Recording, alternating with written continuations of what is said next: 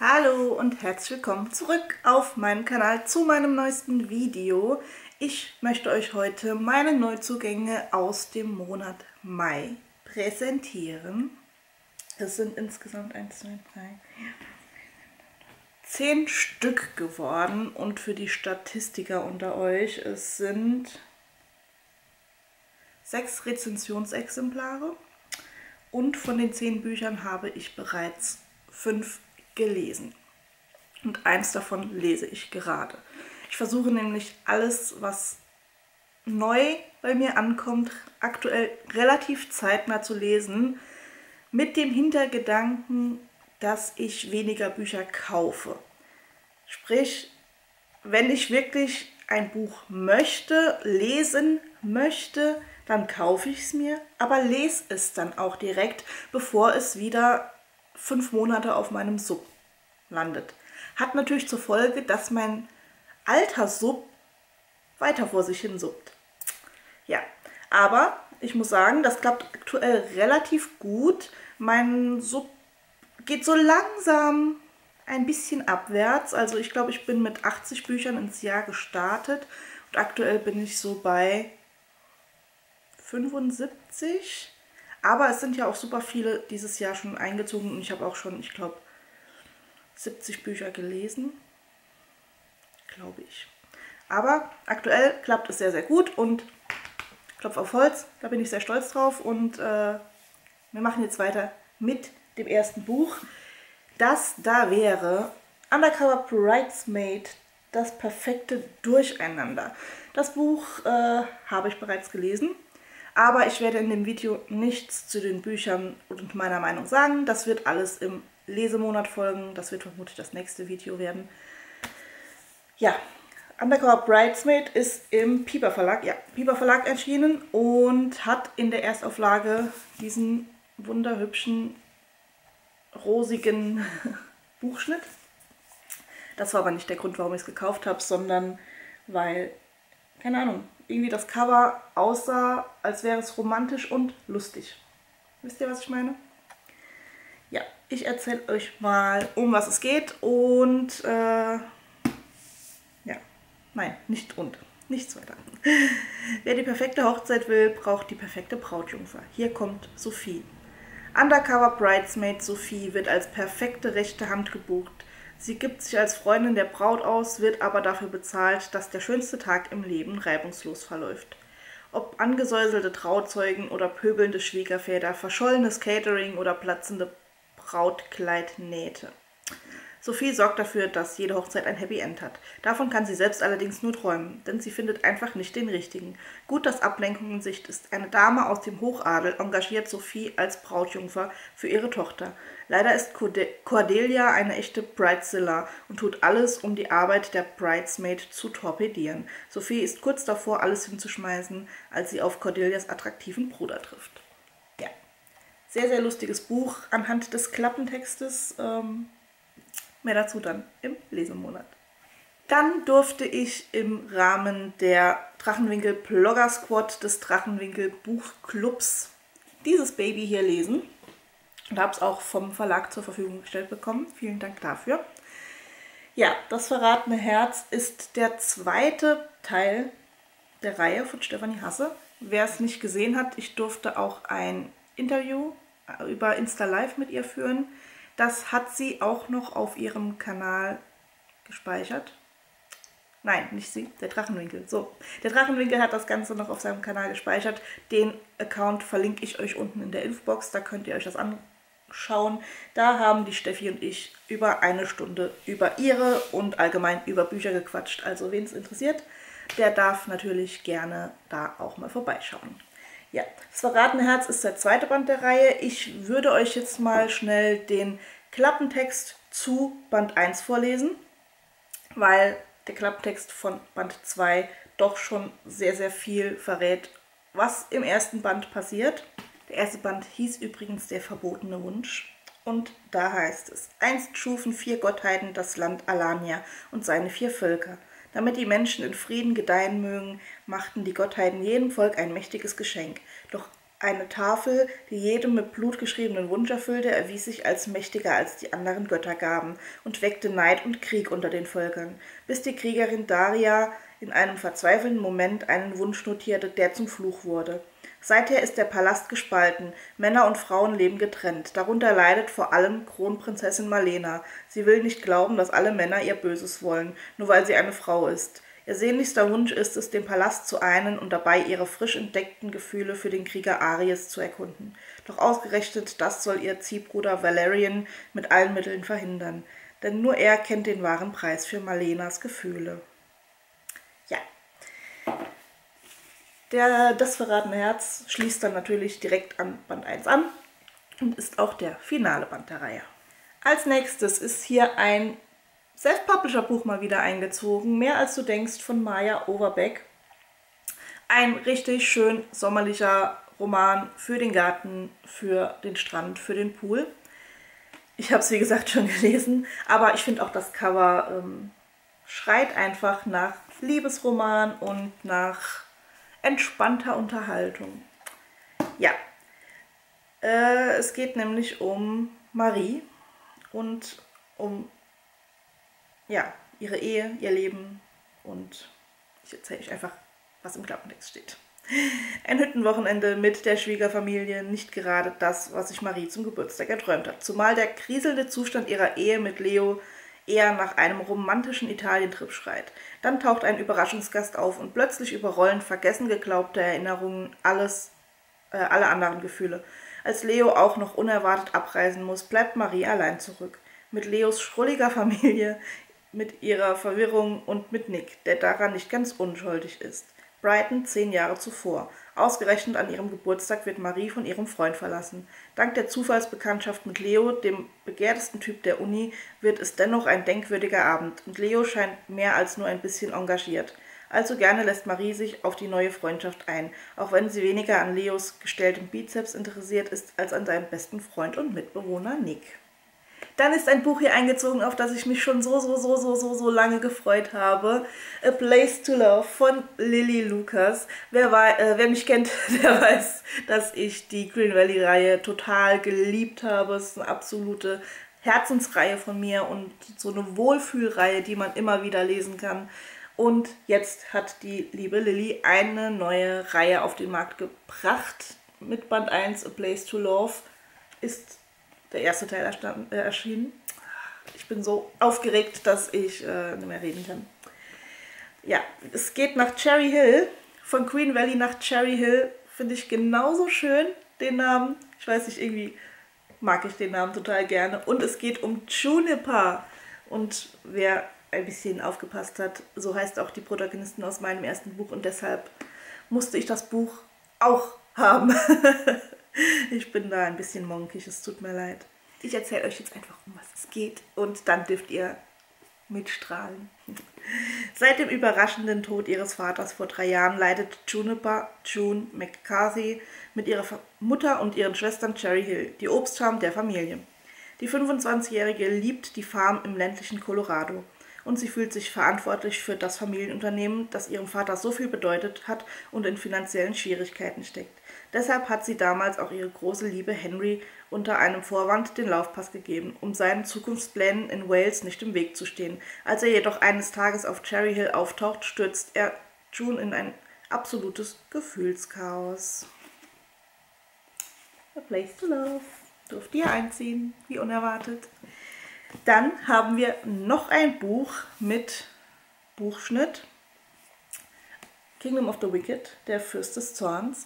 Ich habe aber nicht die Ausgabe mit Original, erste Auflage, Buchschnitt des Verlags. Ich habe die äh, Bücherbüchse Edition. Ich finde die richtig cool, weil halt hier ist diese Schlange drauf und die ist auch hier weiter mit aufgegriffen. Aber ich glaube, ich finde den Originalbuchschnitt doch noch einen Ticken schöner.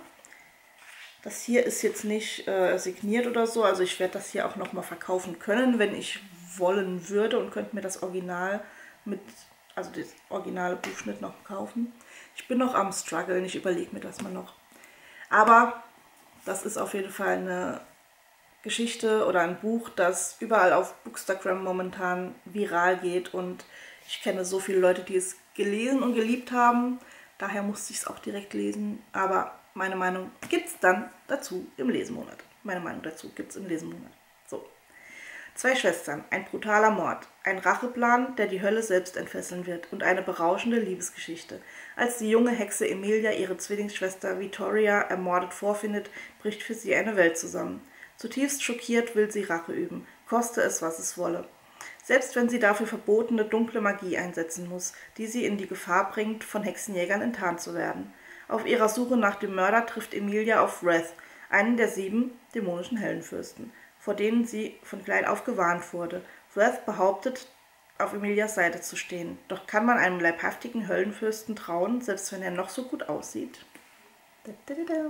Kingdom of the Wicked. Das nächste Buch habe ich euch im What I Read Next Video schon gezeigt. Still Missing You von Valentina Fast.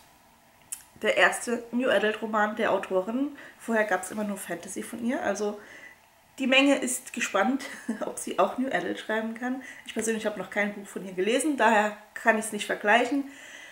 Aber ich habe das Buch bei Lovely Books gewonnen und bin auch sehr gespannt. Ich werde es definitiv diesen Monat lesen. Es hat ja bei, meiner, bei meinem Subvoting nicht gewonnen. Das heißt, ich müsste es nicht im Juni lesen, aber ich möchte es im Juni lesen. Ja. Zur Beerdigung ihrer Großmutter kehrt Hazel widerwillig in die Kleinstadt zurück, aus der sie vor Jahren geflohen ist. Denn niemand sollte je erfahren, wie sehr Hazel ihren Pflegebruder Derek geliebt hat und dass er ihr Herz brach, ohne es zu wissen. Da hilft es nicht gerade, dass ihr und ihren Pflegegeschwistern bei der Testamentseröffnung verkündet wird, dass sie eine alte Villa der Großmutter erben. Einzige Bedingung, sie müssen die Villa zu einem Hotel umbauen, alle vier gemeinsam. Ich sag schon wieder umbauen. Umbauen.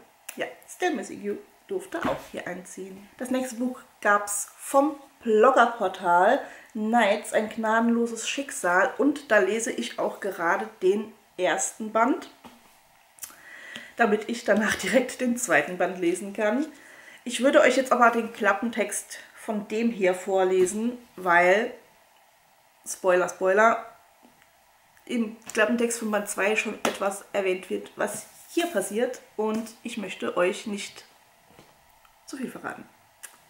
Die 18-jährige Charlotte Stewart tut alles dafür, ihre Gabe geheim zu halten.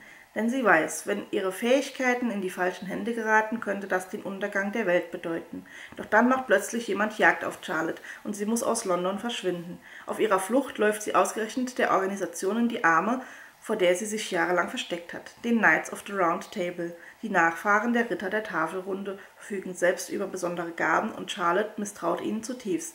Dennoch bleibt ihr keine andere Wahl, als sich mit den Knights zu verbünden, allen voran mit Noel Mayfield, einem Lancelot-Erben, der in ihr unerwartete Gefühle weckt und mit dem sie ein gefährliches Schicksal verbindet. Ich liebe ja die Ritter der Tafelrunde, deshalb wunder, wunder, wunder, wunderschön hüpfen wir jetzt in die richtige Jugend, Jugendbuchsparte. Zimt auf den ersten Sprung verliebt von Dagmar Bach.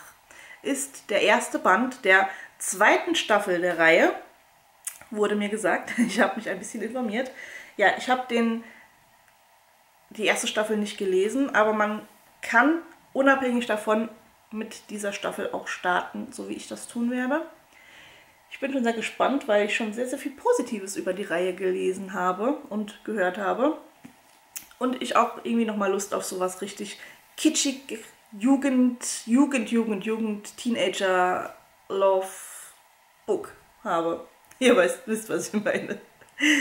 Ja, meine vertauschten Welten. In meinem Leben ist die Hölle los. Nicht nur habe ich Herrn Wampi, alias der fieseste Lehrer aller Zeiten, am Hals, sondern seit kurzem ist es wieder passiert. Ich springe in eine andere Welt und tausche mit meinem anderen Ich die Rollen. Das findet ihr cool? Na, dann habt ihr mit meinem Freund Konstantin etwas gemeinsam. Aber dass sich unsere Parallelversionen ständig beim Küssen erwischen lassen, peinlicher geht's ja wohl nicht mehr. Doch all das wird unwichtig, als jemand uns in der anderen Welt eine fiese Falle stellt. Denn jetzt wird es für Konstantin und mich gefährlich. Und zwar nicht nur für unsere Liebe. Glaub mir, ich habe keine Ahnung, wie ich das zwischen den Welten wieder hinlegen soll, wo ich nicht einmal genau weiß, was gerade mit uns geschieht. Und es ist auch so richtig schön kindlich geschrieben. Also ich habe da richtig Bock drauf, sowas richtig schnulzig, kitschig, kindisches zu lesen. Das vorletzte Buch, das hier einziehen durfte, ist Crown and Bones, die Chest of Fandom Edition. Natürlich, wer mich kennt, weiß, dass ich Band 1 und 2 schon in dieser Edition habe. Und deshalb hat mein Monk gesagt, auch wenn ich Chest of jetzt nicht unbedingt ständig Geld in den Rachen werfen möchte, weil ich da so enttäuscht war. Aber ich musste dieses Buch trotzdem kaufen und ich werde das vierte vermutlich auch in dieser Edition kaufen müssen. Ja, ich habe Band 2 noch nicht mal gelesen und ich habe auch sehr Angst, es zu lesen, weil der Buchrücken sehr, sehr, sehr, sehr dünn ist und ich Angst habe bei einem 800 Seiten Buch, dass der Rücken am Schluss aussieht wie Huf. Ja, vielleicht werde ich mir einfach wieder das Hörbuch runter, damit ich das Buch nicht man, äh, in dieser Form lesen muss. Ich weiß. Don't say it. Ich weiß es. Ich kann euch jetzt natürlich auch nicht den Klappentext vorlesen, wie ich es gerade tun wollte. Aber ich könnte jetzt euch den Klappentext von Band 1 vorlesen.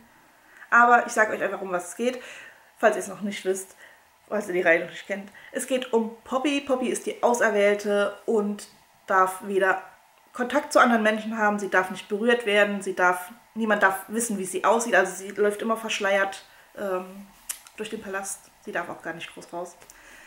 Und ja, dann stirbt einer ihrer Leibwächter, sie hat zwei an der Zahl. Mit dem einen älteren ist sie schon seit Jahren wirklich befreundet und dann stirbt der andere und sie kriegt einen neuen Leibwächter zur Seite gestellt, der da quasi Hawk heißt. Ja. Und Poppy ist halt so ein kleiner Rebell und fragt sich halt, warum niemand sie sehen darf, warum niemand sie berühren darf und schleicht sich halt nachts auch ständig aus dem Schloss und trifft dort, bevor er überhaupt ihr Leibwächter wird, schon auf Hawk und ja, da sind Gefühle im Spiel und sie möchte ihn berühren und Sie möchte einfach ein normales Mädchen sein. Ja. Das ist so grob die Geschichte. Alles weitere würde zu sehr spoilern, aber es ist für mich ein Jahreshighlight 2021 gewesen. Also Plum Nash, den ersten Teil der Geschichte. Die Meinung ist gespalten. Die einen lieben die Geschichte, die anderen hassen die Geschichte. Also ja, so ein Zwischending gibt es irgendwie nicht. Da müsst ihr euch einfach selbst eine Meinung machen. Ich kann nur sagen, ich habe die Geschichte geliebt, auch wenn Poppy sehr oft innere Monologe führt und mal so, ja, nein, ja, nein, ja, nein, mäßig unterwegs ist.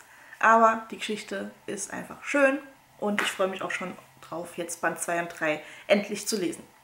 Last but not least, das letzte Buch, das diesen Monat hier einziehen durfte. Ich musste es gerade hier von der Couch nehmen, weil ich nämlich gerade am Lesen bin. The Stories We Write von Olivia Date.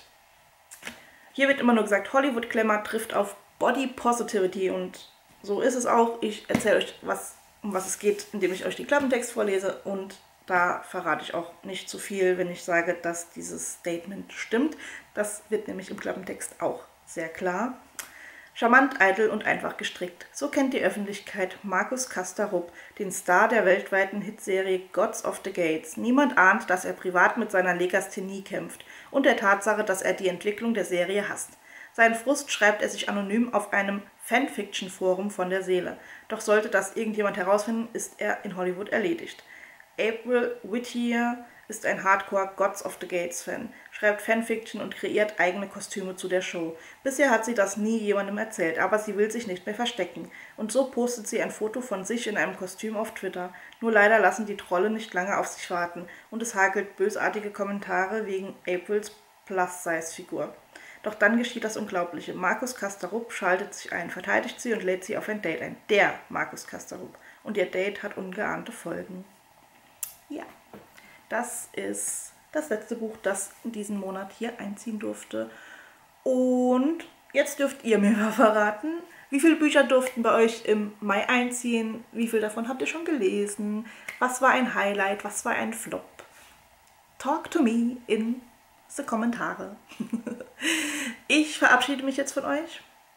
Ich gehe jetzt mal meine Kleine aus dem Bett werfen und dann schauen wir mal, was der Tag noch bringt.